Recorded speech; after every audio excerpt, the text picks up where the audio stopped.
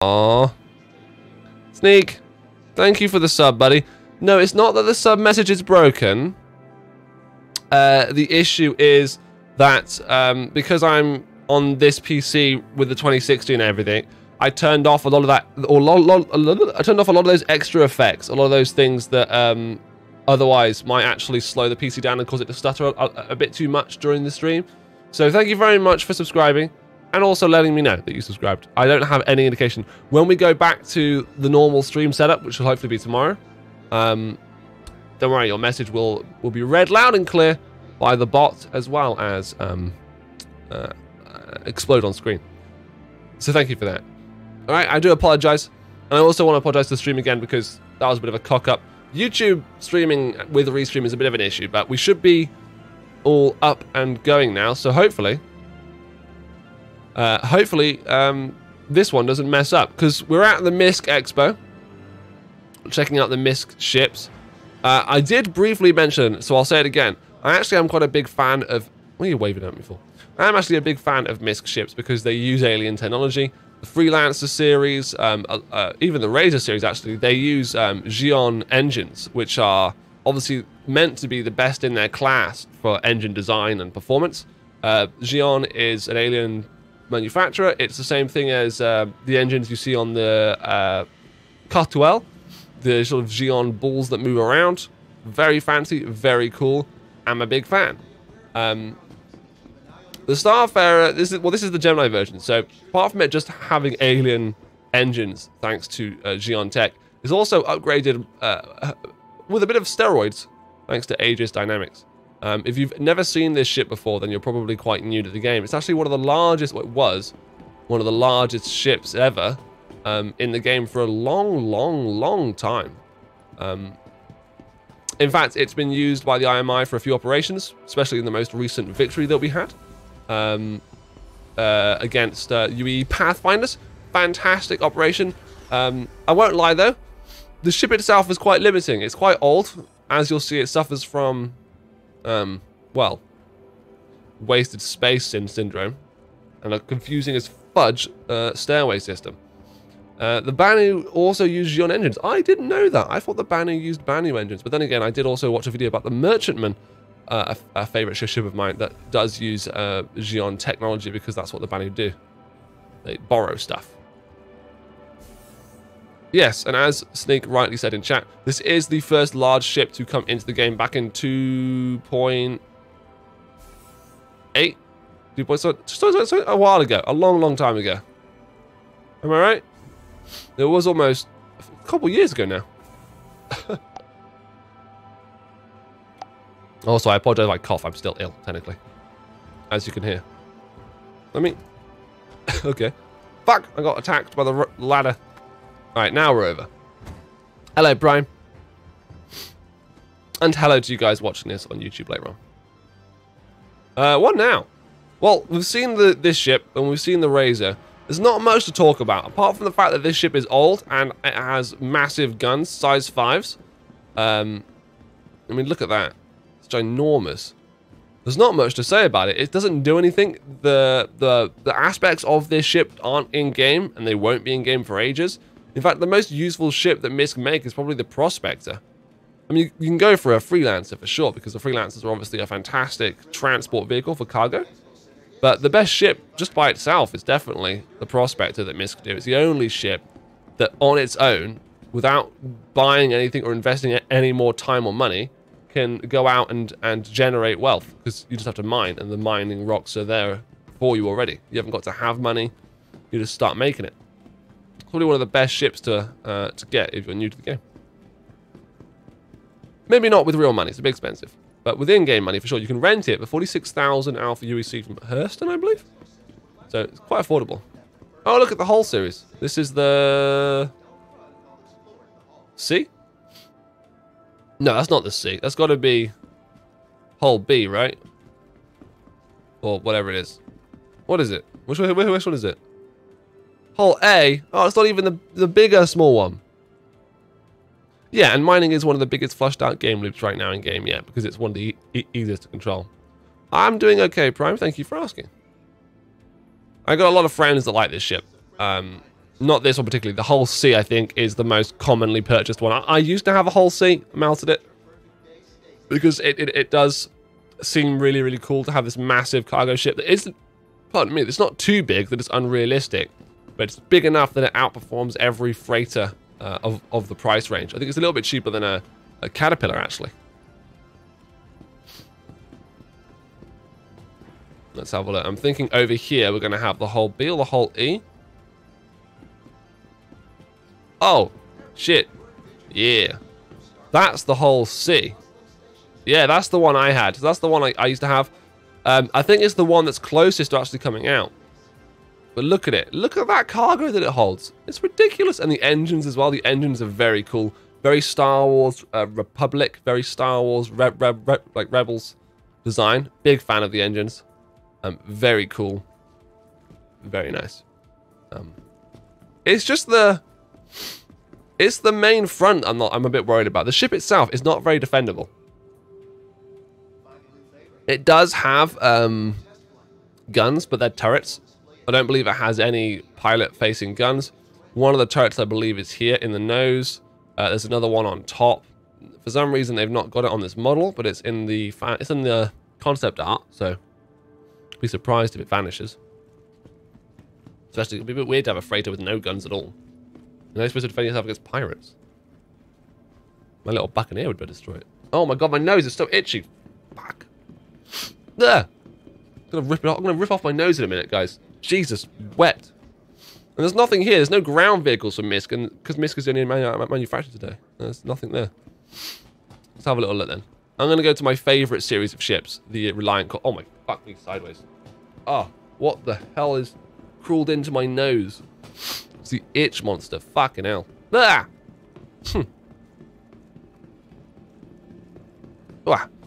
Let's go hall 2 and 3. I think that's... I think that's Reliant. I think that's the Reliant series. We'll find out. If it's not, if it's a Freelancer series, Trusnik will be very happy. Except when I'm flying, though. He doesn't like it when I, when I fly as Freelancer. For some reason. God knows what. A bit weird, I think. I think it's a bit weird with his Freelancer.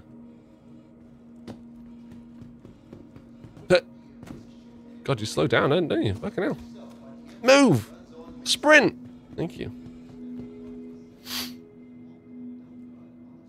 Ah, it is the Reliant series I've chosen. Nice! Um, I knew it. I knew I would be pulled straight to it. Because I have big brain, and my big brain likes the Reliant series, because it's cool. So the cool thing about the Reliant series is, you know how it looks horizontal now? When you actually go to fly it, the wings rotate up. A bit like, um, a bit like uh, Boba Fett's um, like gunfighter in Star Wars. Um, so I'm a big fan of that. This is the reporting version or the camera crew version.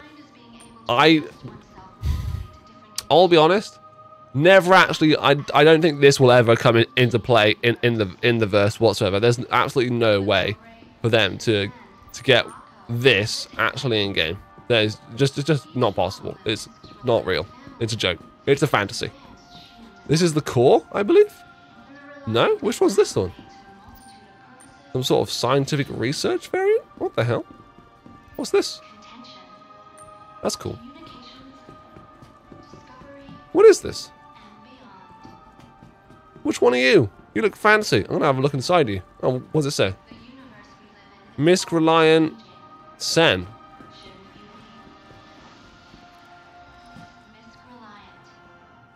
Look at that. Nice. Oh, it has the bed from the Tana series. This must be the research one. Yeah, because you've got a little chair there. Experimentation table. You've got some towels in case you get a bit messy. An access point for your hands as well. Oh, it's got a toilet and everything. Look at that. Oh, oh, nice shower. Thank you. Not been inside this ship before. And you can see so much. I mean, look at that. When you're sat in in here. Uh, uh, uh, okay, there's a lot to see. It's just glass everywhere. Lovely. It's lovely. But this isn't the one I recommend. The one I recommend is the one in the middle. Am I correct? Yeah, yeah, yeah. The Tana. You buy this Tana, right? in-game or with real, real cash. Uh, it's about, I think, $70. Um, has a bed still, so you can log out. Has cargo space. Has a shower and a toilet. Has a gun rack and clothes rack. The only thing it's missing is uh, an area to make food and water. You still have access to your panels, the exact same seats. The cool thing about this ship, though, is it's, it's really overpowered for what it is. 16 size 2 missiles. It packs the exact same DPS potential as a Super Hornet. A Super Hornet um, with two size 2 hard points uh, and then another size 3 on the wings. But those size 3s, although they're very, very cool, and they are gimbaled, I think, swap them out. And you swap them out for the Reliant Gilroy gimbals here from the Kore, which allows you to have two size 2s, which is just a much better, much better thing to do. And this is the cargo variant, which I find I find it interesting that they gave the cargo variant more guns than the, the military sort of combat variant, but they did. And that's just the way it is. But it's got quite a nice cargo space. I'm hoping that this is the sort of ship that a lot of um, Daymar Rally racers or whatever might might put their bikes inside of. Because I feel like it has that sleek, that sleek, very cool, small utilitarian vehicle aspect to it. Almost like a, a small minivan, like an Avenger, but a better looking Avenger. Put your little tumbril bike in there, your TR, roll out the back of it, go on a mission, come back. Easy peasy lemon squeezy. Alright, now to check out the freelancers. I want to go and see the DUR again. Freelancer DUR was um, back when this game was just quite literally um, Pokemon capture all the JPEGs. Um, a freelancer Dur was what I used used to have as one of my favorite JPEGs and also my most expensive J, J, JPEG. Um, God, if younger self could see me now, I'd probably call me an idiot or a moron. Imagine that. Imagine, imagine the time when you were happy, the fact that you had a freelancer Dur and that was all you had, and you were like, "Oh wow, look at this ship that I have. I'm so lucky to have it, and can't wait to play. And it's so expensive. Couldn't imagine spending any more than that." And then a few years later, you'd spend ten times more than that. It's not good. Bad. Don't spend money, kids. Buy a starter pack. Earn money in game. Join an org have fun. That's all you have to do. Don't don't get sucked in by all the fancy ships you're seeing here today on the IAE, okay? It's a lovely place to be and it's a cool event, but don't get sucked in. Don't go spending money you don't have on ships you don't need in a game that may or may not still come out. Don't forget, it's in alpha. My frame rate should tell you that. It's in alpha. Oh, there it is. Look at it. There's a Freelancer Max. Very pretty. Big fan. Big orange colors. There's the normal freelancer. Black. No one likes that. Look at this, though. Freelancer. DUR. So they all share the same chassis. They're all very, very similar in stats and hull strength. Only real di di differences are, of course, the Max. Thank you, phone. The Max has a massive cargo pay payload amount. Um, almost as... Uh, uh, not as big as the Caterpillar, but um, very, very reliable because it's fast and much smaller than a caterpillar, which means you can get in and out of small spaces much faster, which actually means that some people I've spoken to who do trade often prefer to use this over a caterpillar because of the speed advantage, especially on small flights. Um, the Freelancer Dur has extra fuel tanks, so it benefits from being able to travel for a lot further. I wonder what the interior is actually like. I've not seen the interior of the Dur since, uh, well, since it what, what was a JPEG in my JPEG hangar. Let's have a little look. Let's have a little gander. I wonder if it is actually different. Interesting. What's that? Looks to me like, um, God knows what. Equipment, perhaps? More cargo space.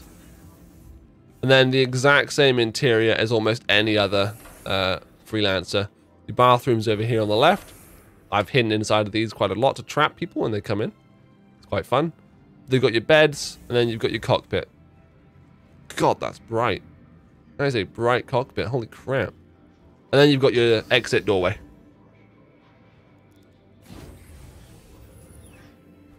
There we go. I believe one of the most popular freelancers, apart from the Max, which is again, a behemoth in size to weight ratio. It's ginormous. Um, is this the Freelancer MIS, an old favorite of mine because I like the color green. It's the military version of Freelancer's chassis like ship series. Um, it's, it's, it's, I would say it's not really a fighter. Imagine it to be like um, Star Citizen's own destroyer or like small torpedo boat. It really is just a. It's not even a gunboat. It's a missile boat. It's just designed to launch missiles. It has four size threes on gimbals, which are quite substantial. But really, apart from quite a substantially nice cargo space, it's got these missile racks. They are bespoke, and I believe it holds 32 size 3 missiles. 32 size 3s, which, um, to put that into perspective, is enough to destroy two caterpillars from full salvo. You just launch 16 at one, 16 at another, they're both dead. Size 3 torpedoes do about 8,000 damage each. So you're looking at uh, quite a healthy chunk of change, really. A hundred and two, almost 200,000 damage, which is more than the hull strength of a Caterpillar. So it really is a very viable ship. If you're thinking about upgrading to something that can do a bit of transporting, but also packs one of the biggest punches in-game, there you go. MISC Freelancer MIS. The MIS stands for missiles, obviously. It'd be a bit weird if it stands for something else. Otherwise, I don't recommend anything more than the Freelancer Max or the MIS from MISC personally, um, especially if you want to upgrade to something. All those other ships I showed you earlier, fantastic starter ships. The Reliant series are some of the best. Um, definitely don't even touch a Starfarer Gemini. It means nothing to no one. Um, and the DUR and the basic Freelancer, not really worth it. They're just good vessels. I'd rather use a Cutlass Black than a Freelancer standard because a Cutlass Black, although it can hold less, uh, is a lot more agile and a lot faster, as well as being able to pack a punch and provide you and a friend better shooting opportunities to have fun in the verse. The Freelancer Max is obviously designed to be max. It's supposed to carry the most for its class, and it does do that really, really well, as well as some good speeds, and it looks nice. And if you want to go and destroy a lot of people, do some bounties, or be an asshole pirate, the MIS is there for you as well. Um, unfortunately, apart from that, uh, MISC don't make much else. A bit like Drake, which we will be checking out later today, um, is a very bespoke air-only manufacturer with nothing to show for its ground capabilities. Um, and frankly, all they really have are smaller ships. Um, nothing ginormous. I mean, you have the Gemini and the Caterpillar, obviously, for Drake. Nothing bigger than that yet. We are hoping to see it soon. So yeah, that's it. That is the MISC. That's MISC's adventure. I'm so sorry it was short-lived and very, very exciting. Um, but that's just the way it is. There's not much to show sometimes at these expos. Just like yesterday's Crusader event. If you're watching that on YouTube, you can go check it out after this video. There really isn't much to see some sometimes. The expo is just that. It's an exposition of the ships we currently can fly. So apart from the holograms and the fake fakery that is the trailers for this for the Crusader Day, which involved a C2 that wasn't actually here, still mad about that. Um, there's not much to see, actually. Actually. Actually. Oh no, I was going to say where the mole is, but the mole is made by Argo, which is a different manufacturer. I want to show you guys quickly before I, I end this uh, YouTube segment of the stream. The inside of the Prospector. Because this is, again, like I said, one of the ships that I'm going to, I recommend to almost all, uh, let's get in, in the chat, almost all players if they intend to be self-sufficient. If you haven't got the time to do a lot of freighting and you just want to, and you want to play the game in the best loop possible right now, the Prospector is the best way to do it. Is it going to actually let me power on?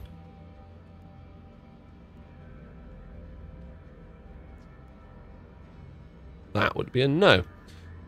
The Prospector is the best ship you can get right now for self-sufficient game, game gameplay. It has the best loops of any any uh, gameplay right now. Mining does.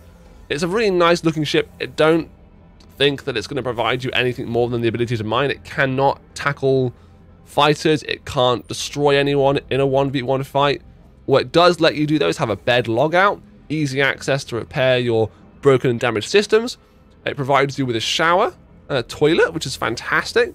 Uh, it also, I believe, provides you with uh, food, no? Yeah, it does. Water and food. So in the future, when they introduce water and things like that as being a, a necessity that you need, and you can get it out of your ship, it will be here. So it really is a fantastic ship to have for yourself if you are the sort of player that, you know, isn't interested in getting involved with an org right now because maybe you haven't got the time. Uh, you're not interested in combat because that's also, again, a very fleshed out, if you can call shooting someone fleshed out, part of the game.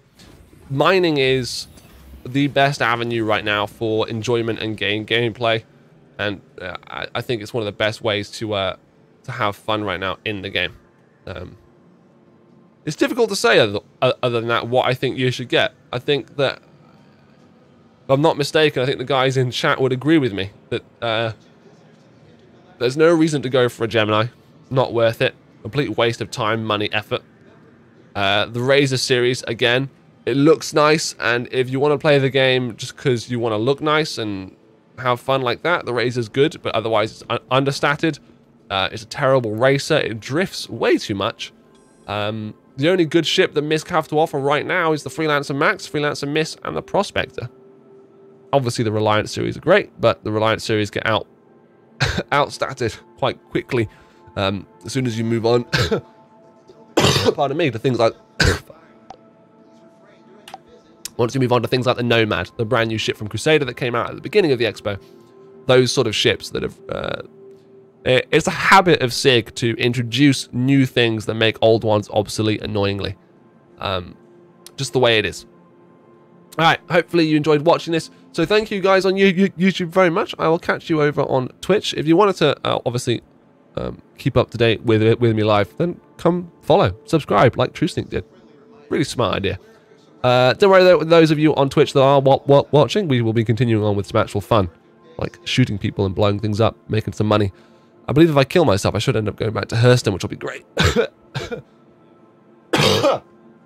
if uh, my throat can handle it, we'll have to see. All right. Thank you guys so much for watching. Uh, and yeah. All right, let's